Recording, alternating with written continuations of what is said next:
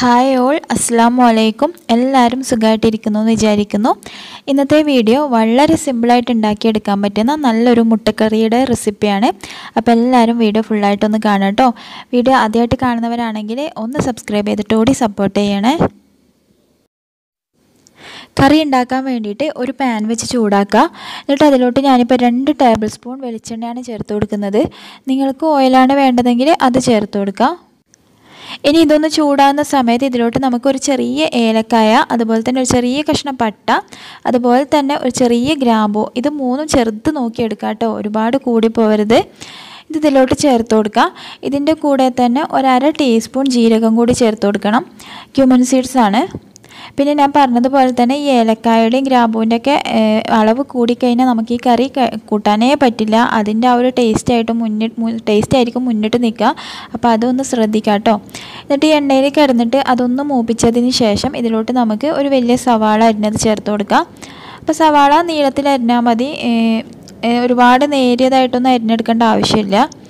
പിന്നെ ഇതിലോട്ട് നമുക്ക് ഒരു മീഡിയം സൈസ് വലിപ്പത്തിലുള്ള ഇഞ്ചി ഒന്ന് കട്ട് ചെയ്ത് ചേർത്ത് കൊടുക്കാം. ഒരു നാലോ മൂന്നോ നാലോ വലിയ വെളുത്തുള്ളി ഇതുപോലെ ഒന്ന് കീറിയിട്ട് കൊടുക്കാം. എന്നിട്ട് ഇതെല്ലാം കൂടി ചേർത്തിട്ട് നല്ല പോലെ ഒന്ന് വഴറ്റിയെടുക്കാം. ഇത് പെട്ടെന്ന് വഴന്ന് വരാൻ വേണ്ടിയിട്ട് നമുക്ക് കുറച്ച് ഉപ്പും കൂടി ചേർത്ത് കൊടുക്കാം.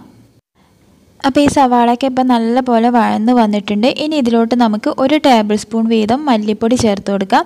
അതുപോലെ തന്നെ ഒരു table spoon Kashmiri chilli powder ചേർത്തിട്ടുണ്ട്. പിന്നെ ഒരു കാൽ ടീസ്പൂൺ മഞ്ഞൾപ്പൊടി ഒരു അര ടീസ്പൂൺ ചിക്കൻ മസാലപ്പൊടിയും ചേർത്ത് കൊടുക്കണം. എന്നിട്ട് ഇതെല്ലാം കൂടിയിട്ട് നല്ല പോലെ ഒന്ന് ഇതിന്റെ പച്ചമണം മാറി മാറുന്നത് വരെ ഒന്ന് വഴറ്റി കൊടുക്കാം. ഇതിന്റെ പച്ചമണക്കം മാറിയിട്ടുണ്ട്. ഇനി ഇതിലോട്ട് നമുക്ക് രണ്ട് മീഡിയം സൈസ് വലിപ്പത്തിലുള്ള തക്കാളിയും കൂടി ചേർത്ത് കൊടുക്കണം. തക്കാളിയും കൂടി ചേർത്തതിന് ശേഷം നല്ല പോലെ വഴറ്റിയെടുക്കാം. തക്കാളി നല്ല പോലെ വെന്ത് ഉടഞ്ഞു കിട്ടണം. അപ്പോൾ അതിന് വേണ്ടിയിട്ട് നമുക്ക് അടച്ച് വെച്ചാൽ ഇത് പെട്ടെന്ന് റെഡിയായിട്ട് കിട്ടും. അപ്പോൾ ഇതാ തക്കാളിയൊക്കെ നല്ല പോലെ വഴന്ന് ഉടഞ്ഞു കിട്ടിയിട്ടുണ്ട്. ആ സമയത്ത് ഞാൻ ഈ തക്കാളി ഇട്ടതിന് ശേഷം തന്നെ ഒരു പച്ചമുളകും കൂടി ഇതിലോട്ട് ചേർത്തിട്ടുണ്ടായിരുന്നു. അപ്പോൾ നിങ്ങൾ എത്രയാണോ നിങ്ങൾക്ക് എരിവ് വേണ്ടത് അതിനനുസരിച്ചിട്ട് പച്ചമുളക് ചേർത്ത് കൊടുക്കാം അപ്പോൾ നല്ല പോലെ ഇത് വഴറ്റിയെടുക്കണം കേട്ടോ. ഈ സവാളയും തക്കാളിയൊക്കെ നല്ല പോലെ വഴന്ന് ഉടഞ്ഞു കിട്ടണം.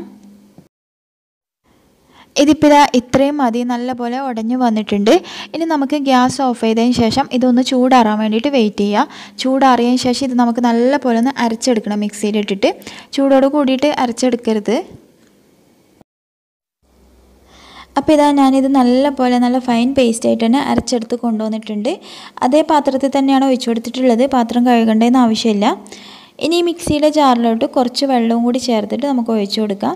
ഒരുപാട് വെള്ളം വേണ്ട. നമ്മുടെ ഈ കറി കുറച്ച് തിക്കായിട്ടാണ് വേണ്ടത്. പിന്നെ നമ്മൾ ഒരുപാട് വെള്ളം ആയിപ്പോയി എന്ന് വിചാരിച്ച് ടെൻഷൻ അടിക്കാൻ വേണ്ട കേട്ടോ. നമ്മളിത് ഇരിക്കുന്നതോറും ഈ കറി ഒന്ന് തിക്കായിട്ട് വരാൻ വരും. പിന്നെ ഇതിലോട്ടുള്ള ആവശ്യത്തിനുള്ള ഉപ്പും കൂടി ചേർത്തിട്ട് നല്ലപോലെ പോലെ ഇത് തിളപ്പിച്ചെടുക്കുക നല്ല പോലെ തിളച്ചതിന് ശേഷം മാത്രം നമുക്കിതിലോട്ട് മുട്ട ചേർത്ത് കൊടുക്കാം. മുട്ട ഇട്ട് കൊടുക്കുന്ന സമയത്ത് കത്തി വെച്ചിട്ട് ഇങ്ങനെ ഒന്ന് വരഞ്ഞു കൊടുത്താൽ നന്നായിരിക്കും. നമ്മൾ കഴിക്കുന്ന സമയത്ത് നല്ലൊരു ടേസ്റ്റ് ഉണ്ടാവും. മുട്ടയിലോട്ട് ആ മസാലയൊക്കെ ഇറങ്ങിയിട്ട്. നല്ലപോലെ തിളച്ചതിന് ശേഷം മാത്രം ഇട്ട് കൊടുക്കുക കേട്ടോ. ഇനി ഇതിലോട്ട് നമുക്ക് ഒരു പിഞ്ച് പഞ്ചസാര ഒരു കാൽ ടീസ്പൂണിലും കുറച്ച് പഞ്ചസാരയും കൂടി ചേർത്ത് കൊടുക്കുക. എന്നിട്ട് നല്ലപോലെ മുട്ട ചേർത്തതിന് ശേഷം നല്ലപോലെ ഒന്ന് തിളപ്പിച്ചെടുക്കണം.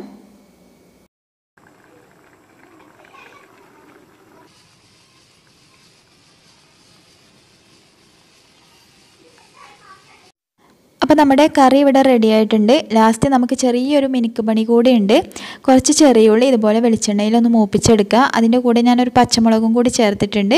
ഇനി ഇത് ഈ കറിയിലോട്ട് നമുക്ക് ചേർത്ത് കൊടുക്കാം. ഇതിന്റെ കൂടെ തന്നെ കുറച്ച് മല്ലിയിലയും കൂടി ചേർത്ത് കഴിഞ്ഞാൽ നമ്മുടെ കറി റെഡി ആയിട്ടുണ്ട്.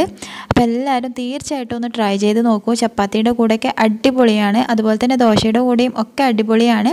അപ്പോൾ എല്ലാവരും തീർച്ചയായിട്ടും ട്രൈ ചെയ്ത് നോക്കിയിട്ട് ഫീഡ്ബാക്ക് അറിയിക്കണേ. വീഡിയോ ഇഷ്ടപ്പെട്ടിട്ടുണ്ടെങ്കിൽ നിങ്ങളുടെ ഫ്രണ്ട്സിനും റിലേറ്റീവ്സിനൊക്കെ ഒന്ന് ഷെയർ ചെയ്ത് കൊടുക്കണേ.